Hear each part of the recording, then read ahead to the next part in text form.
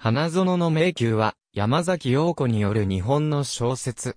1986年、講談社より出版された。第32回、江戸川乱歩賞受賞作品であり、彼女の作家デビュー作品である。一回ずつ映画化とテレビドラマ化されている。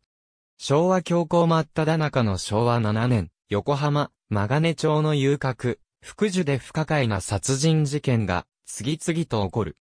女中として働く少女、文は、一緒に売られてきた、友人、蜜を殺されたことから、この事件の謎に迫っていく。原作とは、大幅な改変がなされている。主人公を、遊郭の女主人、秋元太に変更し、原作の主人公、文は事件を見届ける役回りの脇役になっている。時代も10年おり、戦時下の昭和17年に設定されており、犯人こそ同じだが、犯行動機や背景は異なったものとなっている。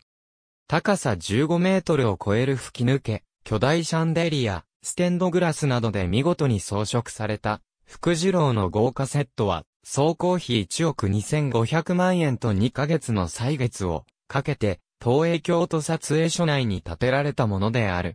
また、この映画での共演がきっかけで、島田陽子と内田祐也の交際が始まったが、後に破局した。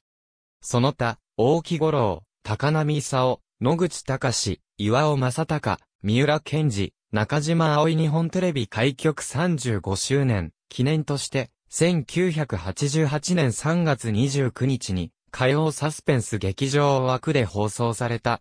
映画版と同じ東映が制作した。